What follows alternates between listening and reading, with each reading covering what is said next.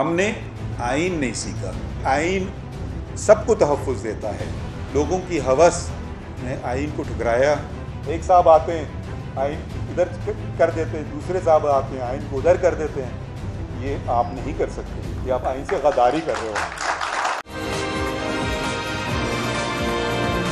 मैं अपने आप को एक कानून का तालब इल्म ही समझता हूँ और रोज़ाना, यकीन मानिए मैं रोज़ाना अपनी अदालत में जब केस चलता है, कोई ना कोई बात सीखता हूँ। सीखता वो है जो हमेशा तालब इम ही रहे, जो ये समझ लेता है कि मुझे अब सब कुछ आ गया, फिर उसका जवाल शुरू हो जाता है।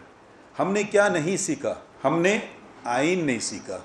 और आइन ना सिर्फ़ ना सीखा हमने तो आइन का तर्जुमा तक भी नहीं किया। आपको पता है कि कोई ऑफिशियल सरकारी ट्रांसलेशन आइन का नहीं है पाकिस्तान में। आइन अंग्रेज़ी ज़बान में लिखा जा, गया आइन की तशरी भी अंग्रेज़ी ज़बान में होगी।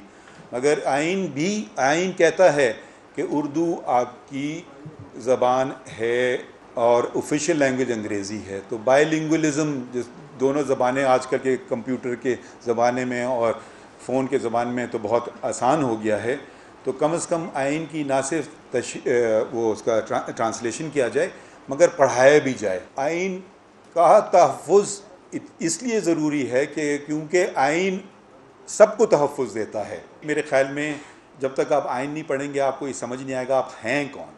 आप पाकिस्तानी कैसे बने? एक ये जो आइन है जिसको पचास साल होने को हैं ये पाक, जो मौजूदा पाकिस्तान है, जिसको मैं, जो निस पाकिस्तान है, क्योंकि ईस्ट पाकिस्तान हमसे जुदा हो गया।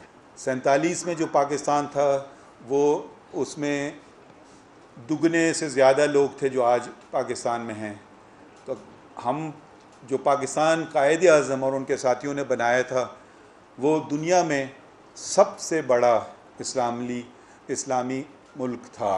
अब ये एज़ाज़ इंडोनेशिया को जाता है और मुझे शर्म से कहना पड़ता है कि दूसरे नंबर पे हिंदुस्तान है, मुसलमानी आबादी के हिसाब से।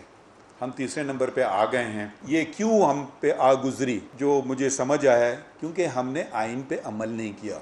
लोगों की हवस ने आइन को ठुकराया और मुहाफ़िन आइन ने अपना आइनी कसम जो खाई थी आइन को फुटक करने की उन्होंने तोड़ी। ज़िम्मेदारी उन सब पे है जिन्होंने आइन पे कसम खाई थी कि हम आइन का तहफ़ करेंगे। ये ज़िम्मेदारी उनकी है। ये हकाइक से हम आँखें नहीं चुराना चाहिए। और अब ये जो आइन है हमारे पास जो निस पाकिस्तान जिसको हम आप पाकिस्तान कहते हैं ये आइन पे अगर अमल किया करता रह, करते रहेंगे बिलखसूस मेरी तरह के लोग जो आइन हल्फ उठाते हैं, आप लोग आइन पे हल्फ नहीं उठाते हैं, मगर आप पे भी पाबंदी है दफ़ा पाँच के तहत कि आप आइन पे अमल करें। मगर मुझ पे और दीगर लोग जो आइन पे हल्फ उठाते हैं, उन पर ज़्यादा है वज़न इसका क्योंकि हमने कसम खाई है। तो आप अगर हम नहीं करेंगे तो हम ना सिर्फ़ कसम अपनी तोड़ेंगे, जिसके हम जवाबदेह ऊपर होंगे। और हम आइन शिकनी जब करेंगे तो इसको हम कहेंगे, हम गद्दारी के ज़ुमरे में आएगा, आर्टिकल सिक्स के ज़ुमरे में आएगा। तो ये हमें ना सिर्फ़ इस जहान में, मगर अगले जहान में भी इसकी सज़ा मिलेगी। तो अगर ये हम बात बावर करा जाएँ सब पे, पाकिस्तानियों पे, कि आइन की क्या अहमियत है। आइन एक ज़िंदा चीज़ है, और आइन सबको तहफ़ देता है। आप आइन को अगर हटा लें तो आप पाकिस्तानियत ख़त्म हो जाती है। तो जो शख्स आइन की तरफ़ बढ़े, उसके सबसे ज़्यादा ज़िम्मेदारी जो है, वो आप लोगों पे है और मेरे जैसे लोगों पे है। इसके, इसका तहफ़ करें। इसका तहफ़ इसलिए ना करें कि वो आइन एक मुक़दस किताब है। इसलिए तहफ़ करें कि इससे आप पाकिस्तान और पाकिस्तानियों का तहफ़ करेंगे।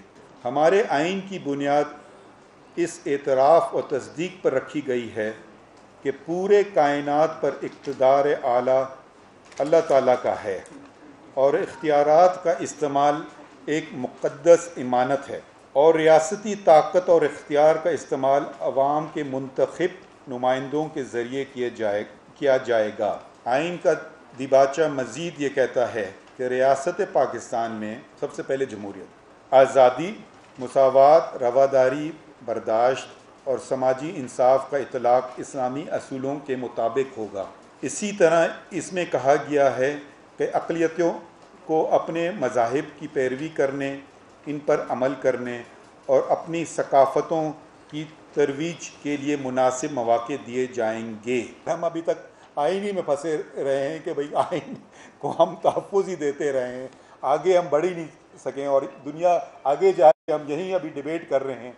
एक साहब आते हैं आइन इधर कर देते हैं, दूसरे साहब आते हैं आइन को उधर कर देते हैं। और हम उनको यही समझाते जा रहे हैं कि भाई, ये आप नहीं कर सकते, ये आप आइन से गद्दारी कर रहे हो। लोग ये भी कहते हैं, इस्लामी निज़ाम आएगा। इस्लामी निज़ाम आ चुका है, सिर्फ़ अमल करने की देर है। ये इस्लामी निज़ाम कायद अज़म और उनके साथी लाए थे। इस्लामी निज़ाम में जबर नहीं है। इस्लामी निज़ाम जमहूरी है। इस्लामी निज़ाम को बर्बाद करने वाले, आप भी जानते हैं मैं कौन हूँ। तो इस्लाम के मुहाफ़ अगर बनना चाहें तो और आइन के तो इसमें आपको कोई कॉन्ट्रडिक्शन नहीं होना चाहिए है। दोनों एक ही हैं, हमारे आइन के मुताबिक। आइन पर अमल कराना आप, आपका, आपके फ़राइज़ में शामिल है और आप इसको बखूबी करेंगे इन और इन जब आप बखूबी करेंगे और आप जब जजेस के सामने, बल्कि मैं अपनी बात करूँ, जो कम समझ वाले हैं, आप बताएँगे कि ये शिक है, आइन की, और इस पर आप अमल करवाइए तो इन अमल भी होगा। तो जब ये निज़ाम निज़ाम अदल जब कायम हो जाएगा तो बाकी बातें भी आहिस्ता आहिस्ता छूटती जाएँगी।